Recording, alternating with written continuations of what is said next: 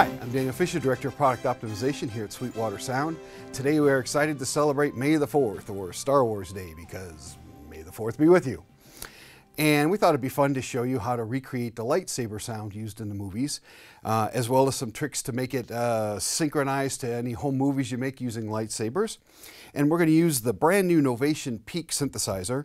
Uh, it's an excellent synth, one because of its fat analog sound, and two because it has this mod matrix that's going to let us uh, use this mod wheel over here on this uh, Novation Impulse. And all I'm going to be doing is sending MIDI mod wheel, and I'm going to use the matrix to move a whole bunch of things to help simulate the sound of the lightsaber sweeping.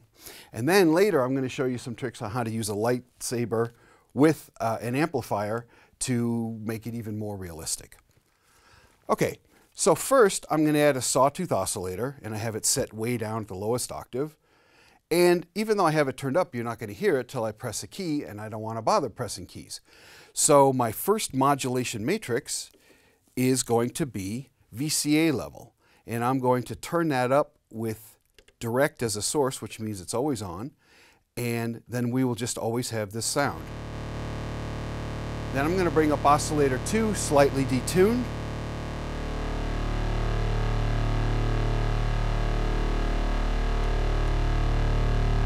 Now I have the pitches of oscillators 1, 2, and 3 being modulated by the mod wheel. So as I do this,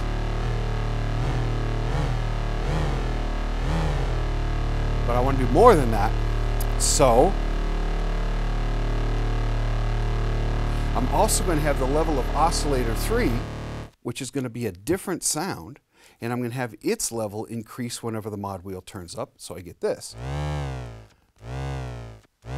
And that's going to be separate from the other sounds.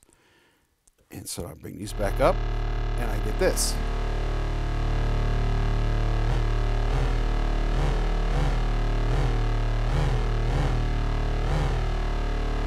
And then to make it sound even more interesting, I add some chorus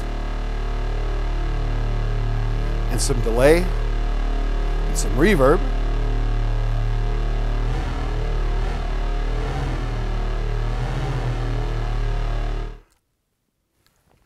Now it's a pretty good lightsaber sound. It certainly has the low frequency. It has the frequency shift as you're moving a lightsaber around, but it's lacking some of the energy that you'd hear in the actual fight.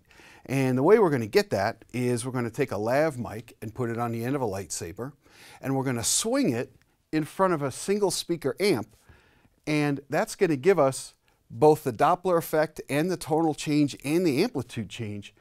And uh, the cool thing is, is if you have a home movie of you doing lightsaber stuff, you can do this after the fact and get a pretty close match to uh, the sound of the fight.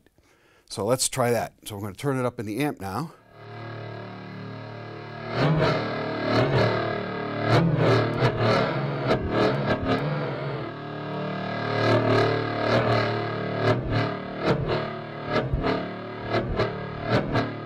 So there you have it. It is the lightsaber sound, and may the fourth be with you.